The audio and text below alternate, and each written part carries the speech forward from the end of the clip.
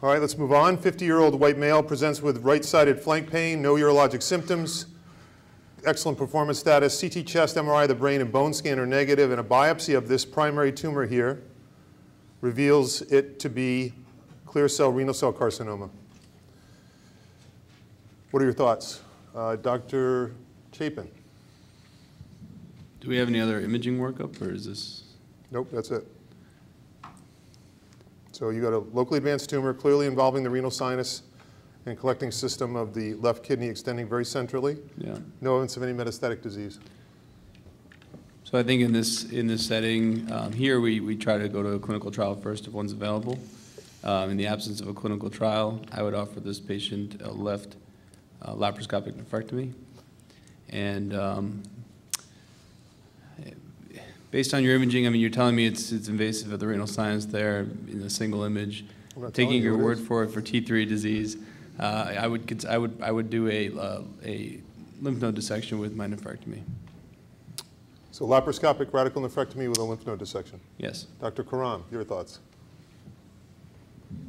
Uh, I think that's a reasonable option, but like Dr. Chapin asked for more images just to make sure uh, how resectable the tumor is. I mean, another option would be to do a partial nephrectomy, especially if the patient does not have good kidney function, which uh, just another consideration. And sometimes I tell the patient we will try to do a partial nephrectomy, but there is a high risk of ending up with a radical nephrectomy.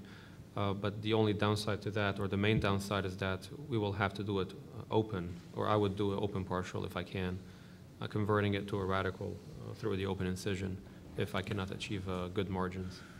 Dr. Delacroix? Uh, I would offer this patient an open, attempted left partial. Uh, Again, uh, What do you think the odds of success are?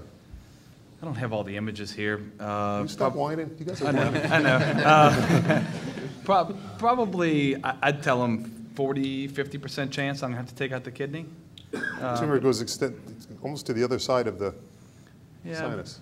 Yeah, I mean, but I look at this image down here, I, you, really, this is one where you need more images. Uh, but I, if, if I look at the images and I think it's, if I have a fifty percent chance that I can do a partial nephrectomy, that, that'd be what I did. This picture almost begs the question if this is the same tumor or not. It looks so nicely encapsulated on the, Yeah. on the right side, and it just looks much different on the uh, left-sided It's a, image. it's a lobulated tumor that extends centrally. and The, the- this cut over here is lower. I would have chosen some better pictures. Oh,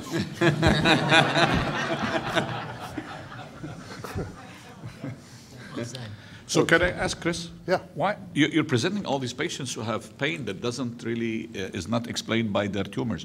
Right-sided flank pain, here is the tumor is on the left, the other, several patients had abdominal pain or left flank pain, and the tumor is on the right. What's going on here? I mean, it's, it- it's a very common, common presentation. They present with symptoms that are completely unrelated to their renal tumor, often contralateral, and yet they have these findings. I mean, these are all real patients, all real history and physicals. Well, it's also the, the CAT scan when you walk into an emergency room. Exactly. I mean, people have back pain, people have flank pain, people have, you know, history of kidney stones. Any, any, any trigger gets a CAT scan now when you walk in the ER. Not that it's correct, and it, most times it's not, but that's what happens, and then they show up in our office with this history. So not to belabor the point, but basically, this patient was enrolled in our neoadjuvant axitinib trial and received three months of neoadjuvant axitinib. Axitinib is the new targeted agent from Pfizer, escalated to 10 milligrams BID. It was relatively well tolerated. Grade 2 hypertension and fatigue, hypothyroidism, and stomatitis. And these are the follow-up images. I trust these images are adequate for your use? Those, those are- those are adequate, and that, and that definitely appears to be a much easier partial nephrectomy. Uh, You could, you could even attempt that So you can see that the, the tumor has regressed dramatically, and plus also, in addition to shrinking in size, there's a central necrosis where the inside of the tumor is basically dead, and that's related to the anti-angiogenic effect of the medicine to cause the blood vessels to regress. And this patient underwent a partial nephrectomy with intraoperative ultrasound, and it turned out to be a T1B, or sorry, T1A, from a grade 3, so shrank the tumor dramatically. And this may be the wave of the future. I think neoadjuvant therapy, particularly with these new targeted agents, uh, may be the wave of the future to try and um, decrease the size of the primary tumor to either make surgery easier, make nephron sparing more feasible. Um, but obviously, all, the, all of this needs to be studied in the context of a clinical trial. I think that's very important, just, go ahead. Can I, can I just ask a question thing, to Dr. sure. Matin and- and Dr. Wood?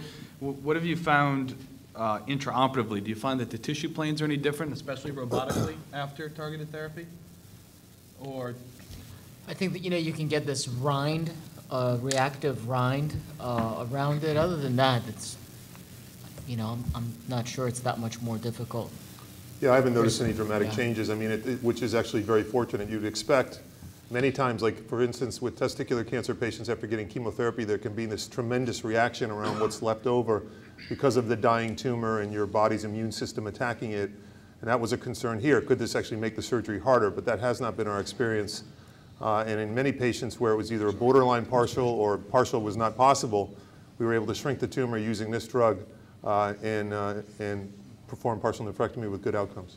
I would just want to stress the importance that this is on a clinical trial basis and that this was not, this would not be considered something that would be standard. And we've made, of that several times today of not giving TKIs with the, the hope of downsizing or downstaging a tumor.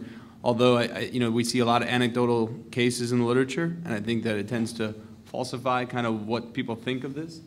Um, I know your, your experience so far with axitinib has been different, and, you know, when, when that's published, it, it can be, uh, something that we evaluate further, but, uh, at this point, this is only in the context of a clinical trial and would not have been standard of care therapy. Okay.